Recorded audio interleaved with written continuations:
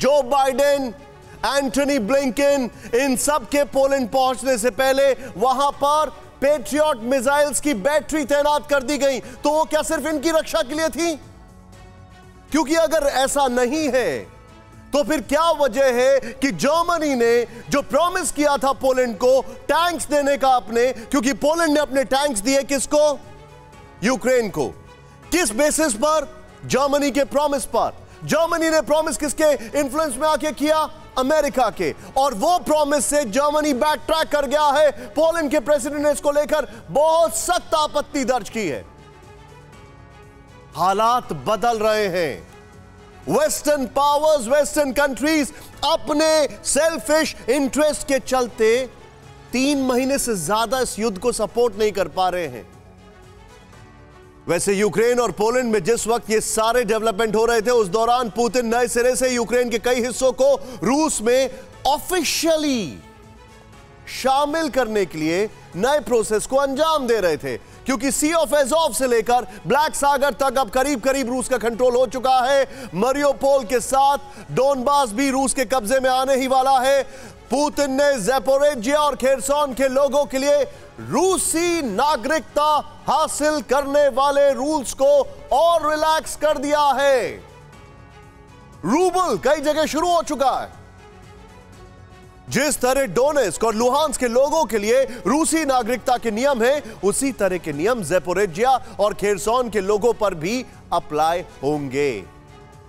Luhansk के governor के मुताबिक अब सिर्फ़ पाँच परसेंट इलाके पर यूक्रेन सैनिकों का कब्जा बाकी है, और आपको यह पता होना चाहिए, पाँच परसेंट इलाके का यानी कि आपको याद होगा मरियोपोल में एजॉफ स्टाल प्लांट में क्या घटनाक्रम घटा था? कैसे लास्ट मोमेंट पर आकर यूक्रेन के सोल्जर्स कोलैप्स कर जाते हैं? लुहांस्क भी में ये कभी भी कोलैप्स कर सकते हैं।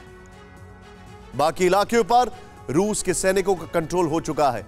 कहा तो यह भी जा रहा है कि अब लिसेंचांग्स इलाके में मास ग्रेव्स में सिविलियंस को दफनाने की नौबत आ चुकी है। कम से कम डेढ़ सौ लोगों को एक साथ दफनाया गया।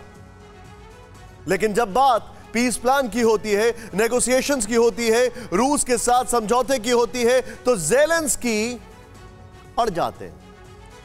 उनके सलाहकार वेस्टर्न कंट्रीज़ के प्रपोजल को कूड़े की टोकरी में फेंकने की बात करते हैं। आपको याद होगा किस तरीके से दावोस में हेनरी किसिंजर ने कल कहा, परसों कहा कि टाइम इज़ कम, कि रूस को उसकी ज़मीन देकर इस युद्ध को बंद करना चाहिए, लेकिन जेलेंस्की भड़ गए, भड़क गए। उनके मंत्री, उनके नेता गाली बकने लग गए। और इसे यूरोप की प्रो रशियन लॉबी भी करार देते इसीलिए सवाल खड़े हो रहे हैं कि अब जेलेंस्की क्या करेंगे? जेलेंस्की क्या डिफेंड कर रहे हैं?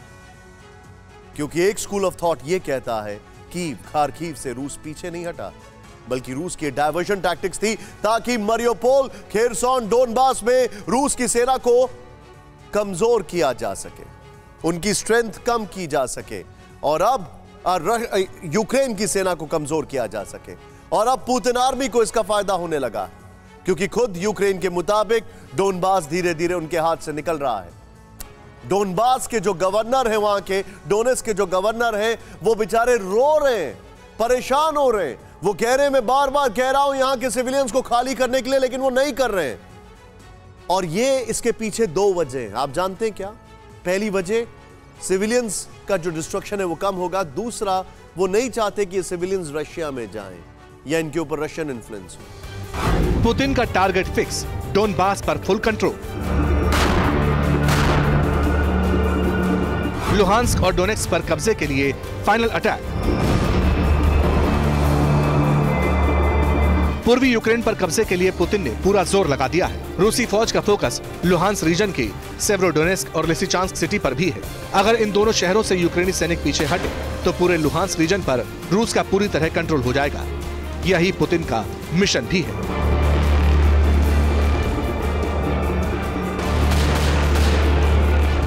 पुतिन के मिशन को कामयाब करने के लिए रूसी सैनिकों ने लुहांस के सेवरोडोनेक शहर पर बारूद बरसा दिया है। जो तस्वीरें आ रही हैं, बेहद खौफनाक। लुहांस में खूनी जंग, नया मारियोपोल बना सेवरोडोनेस्क।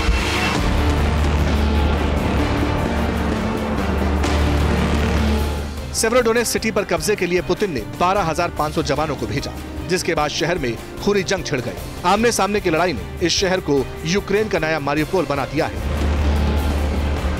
रिपोर्ट्स के मुताबिक दस हज़ार से ज़्यादा लोग बेसमेंट में छिपने को मजबूर हैं। लुहानस्क रीजनल मिलिट्री एडमिनिस्ट्रेशन के हेड सरही हिदाई के मुताबिक लुहानस रीजन के पिचानवे परसेंट हिस्से पर रूस का कंट्रोल हो चुका है। पुतिन रणनीतिक रूप से अहम इलाकों को जीतने के लिए सेवरोडोनेस को आग में झुलसा रहे हैं। रूसी सेना सिस्टमैटिक तरीके से एक शहर को बर्बाद कर रही है। शहर के हर हिस्से में गोलाबारी हो रही है।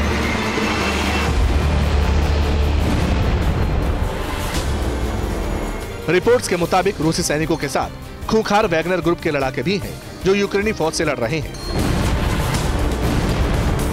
रूसी सेना ने डोनेस को दहलाया। रूस की सेना यूक्रेनी फौज पर चौतरफा अटैक कर रही है। डोनेक्स पर भी ताबड़तोड़ हमले हो रहे हैं। डोनेक्स के नोवो मिकोलिवका इलाके पर रूसी सेना ने रॉकेट से हमला किया। TOS one A multiple launching rocket system से नोवो मिकोलिवका धुआँ धुआँ हो गया।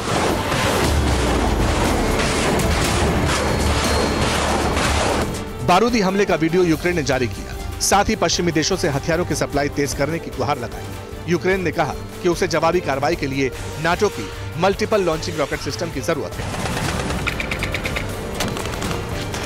यूक्रेन आर्म फोर्सेस के मुताबिक रूसी सेना ने डोनेस्क और लुहांस रीजन के 40 से अधिक शहरों पर हमला किया है, जिसमें अड़तीस घर और एक स्कूल बर्बाद हो गए। भारी गोलाबारी में पाँच सिविलियंस भी मारे गए। डोनेस्क रीजन की लीमन सिटी पर भी ज़बरदस्त बारूद बरसा रहा है रूस।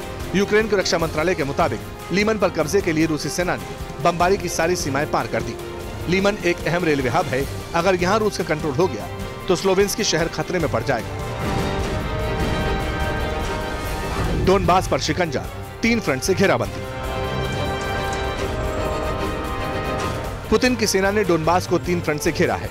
यूक्रेन ने माना है कि डोनबास के कई इलाकों पर रूसी सेना का कंट्रोल हो चुका है।